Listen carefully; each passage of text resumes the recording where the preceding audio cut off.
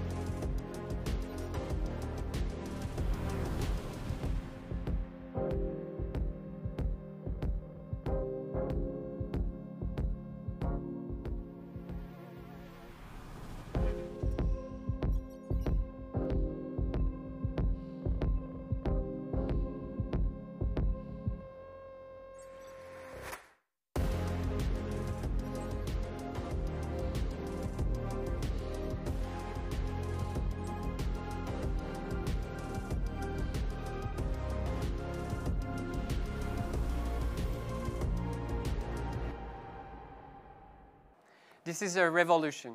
Thanks to this third generation of scanning LiDAR, Valeo makes autonomous mobility a reality. You can finally take your eyes off the road in complete safety. Let's discover now with Clément how Valeo has achieved this level of leadership.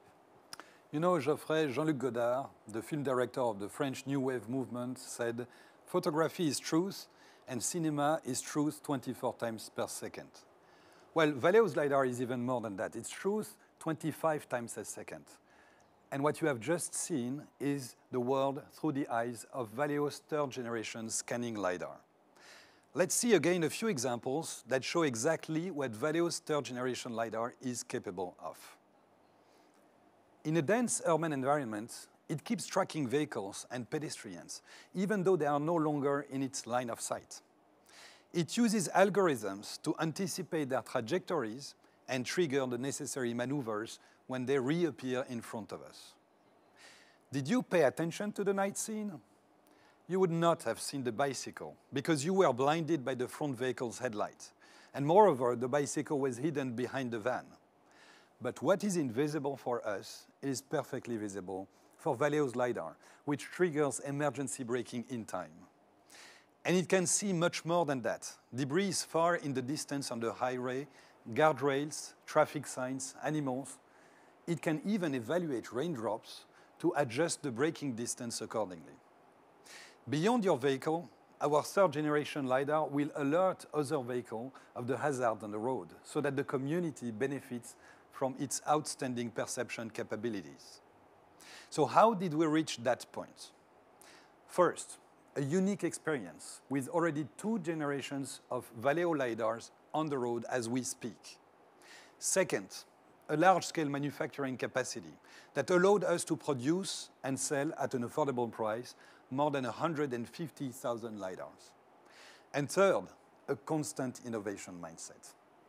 Designing a LiDAR requires actually a unique spectrum of skills, ranging from photonics to artificial intelligence. We have more than 500 patents and 300 engineers dedicated to LiDAR only. That is nearly two patents behind each engineer. So this is how, Geoffrey, we managed today to see the invisible. Thank you, Clément. As you could understand, this LiDAR revolution is the result of a 30-year commitment to advanced driving assistance systems. Valeo started first to inform the driver the sound signal when approaching an obstacle, then to assist him, like when the car brakes instead of the driver. And now you can finally delegate the driving function to your car. This revolution will not stop to automated cars. It's already expanding to autonomous shuttles, delivery droids, autonomous trucks for agriculture and mining, or even infrastructure.